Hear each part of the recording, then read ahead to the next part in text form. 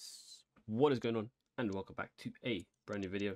This will be the Winter Wildcards Cup that we managed to get done. I've claimed the other rewards that are just the XP. We just have the ones that are winning uh, 2, 4, 6, 8, and then 10 games.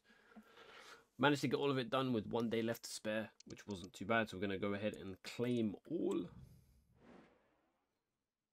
One player pick, 185 by 2, 80 plus by 2, 82 by 2, 183 by 2, and 184 by 2. Player pick first.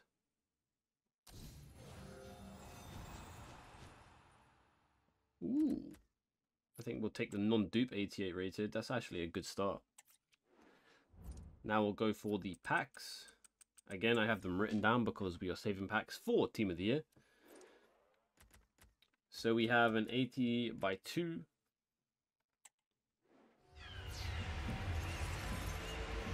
We are looking for a promo card, if possible.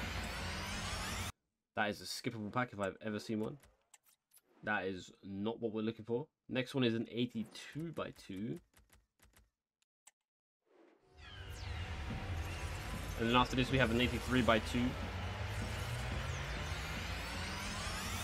I didn't even see who uh, oh, Castiles. Is he 84 rated? He is a duplicate. That is unfortunate. Next is an 83 by 2. Right here.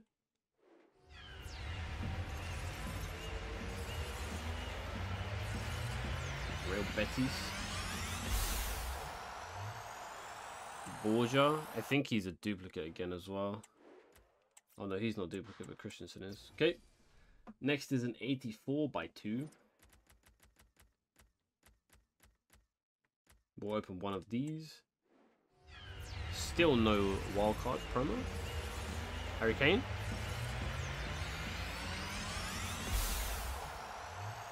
He's a duplicate. He is a dupe that we have currently in the club, which is kind of unfortunate and an 84 Bruno Guimaraes. Uh, I will be back. We need to recycle.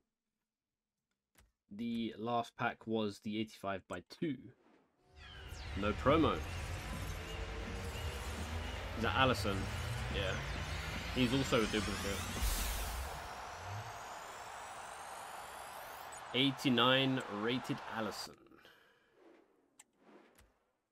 With an 85 in the pack. And that was the Winter Car Wilds Cup objective and rewards. Hope you guys enjoyed, and I'll see you in the next one.